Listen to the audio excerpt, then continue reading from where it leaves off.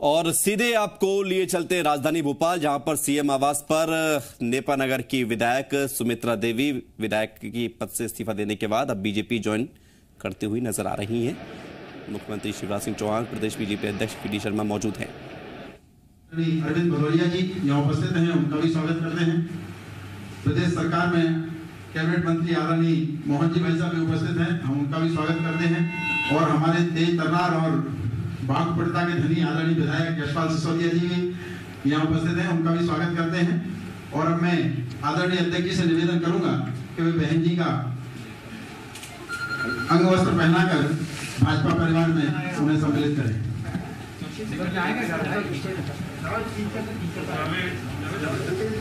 माननीय मुख्यमंत्री जी से भी आग्रह है।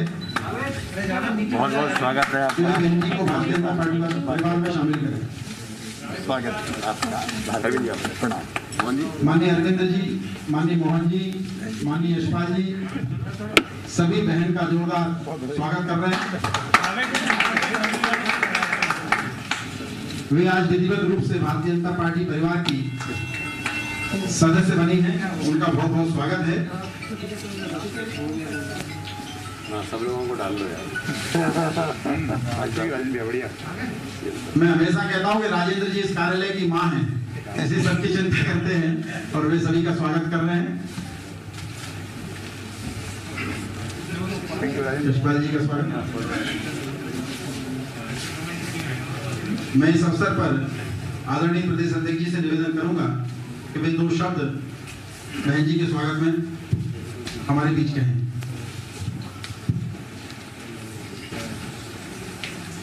आज इस महत्वपूर्ण अवसर पर हमारे बीच उपस्थित भारतीय जनता पार्टी के हमारे वरिष्ठ नेता, राष्ट्रीय उपाध्यक्ष और मध्य प्रदेश के यशस्वी संवेदनशील मुख्यमंत्री और जिनके नेतृत्व में जो मध्य प्रदेश पंद्रह सालों में जिस गति से एक स्वर्णिम मध्य प्रदेश बना था और अब फिर उस दिशा में कदम बढ़ा करके मध्य प्रदेश को ऊंचाइयों पर ले जाने का जो प्रयास लगातार अथक मेहनत से कर रहे हैं ऐसे हमारे आदरणीय शिवराज सिंह चौहान जी।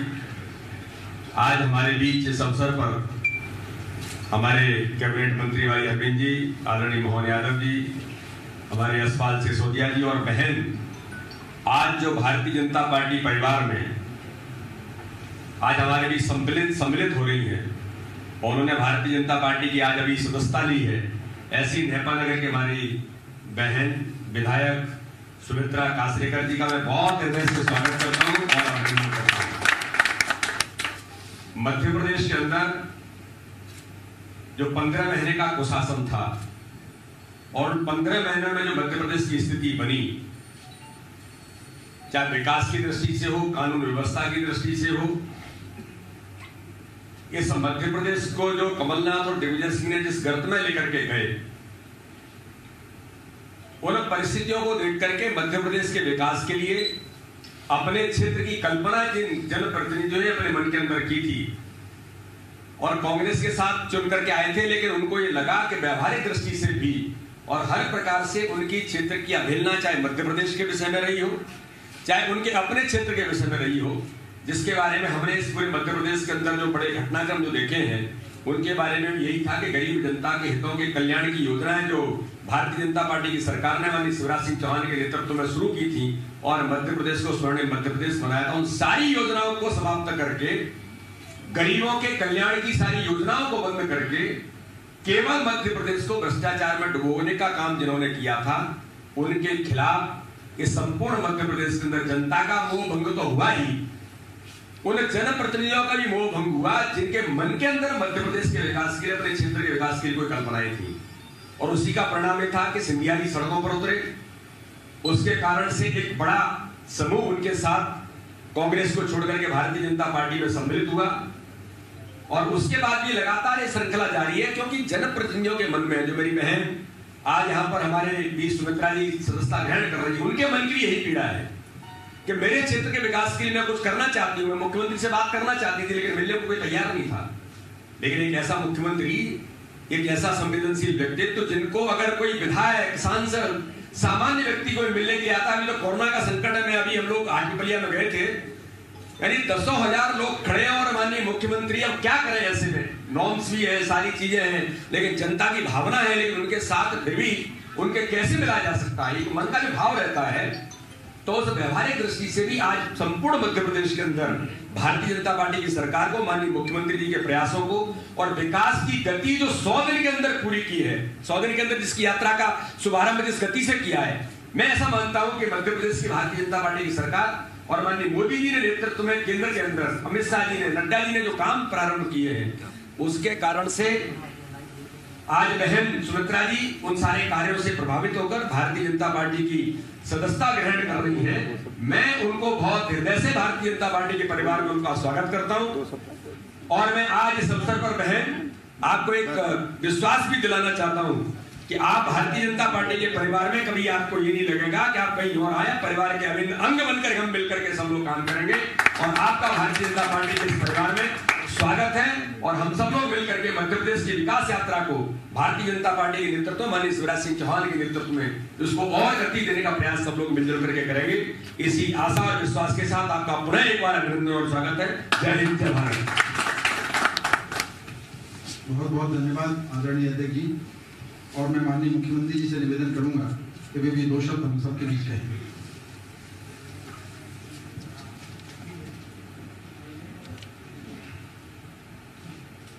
भारतीय जनता पार्टी के गतिशील कर्मठ और यशस्वी अध्यक्ष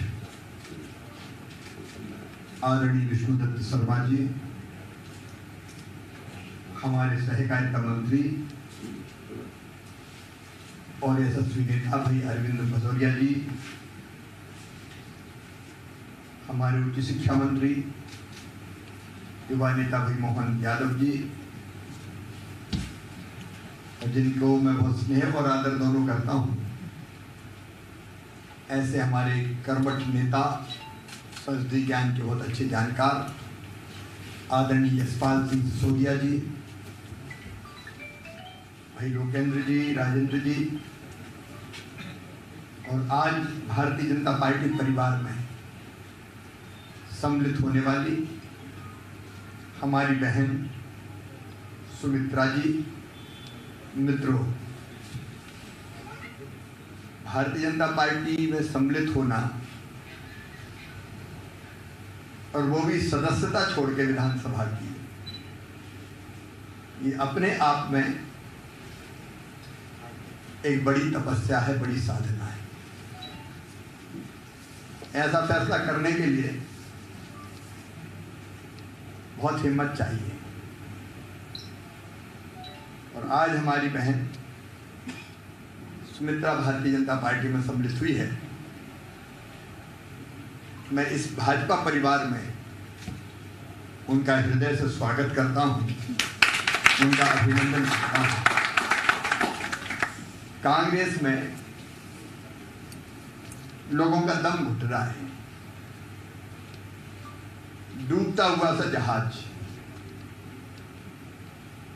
अब बरसों से एक एक परिवार का कब्जा। दिल्ली में अगर आप देखें तो कभी श्रीमती सोनिया गांधी जी अध्यक्ष, कभी राहुल गांधी जी अध्यक्ष।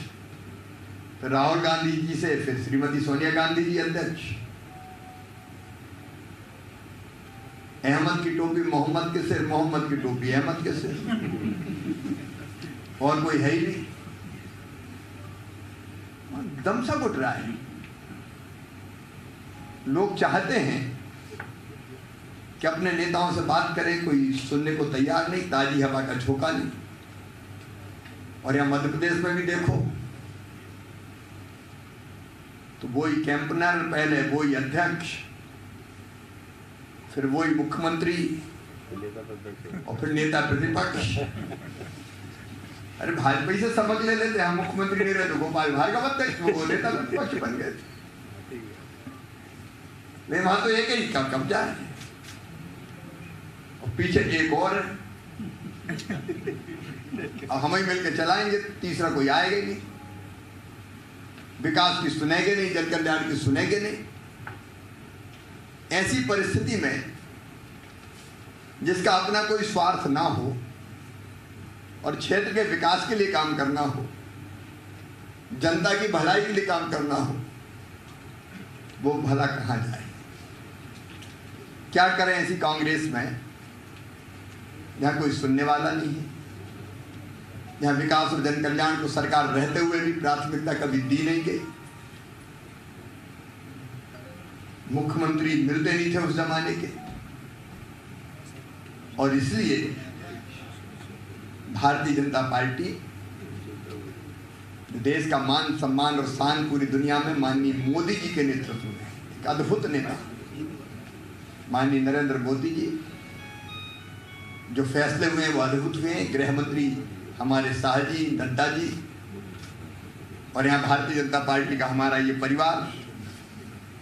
पार्टी नहीं परिवार है इस परिवार में आज हमारी बहन आई है। मैं एक बार फिर उनका स्वागत करता हूँ और मुझे पूरा विश्वास है।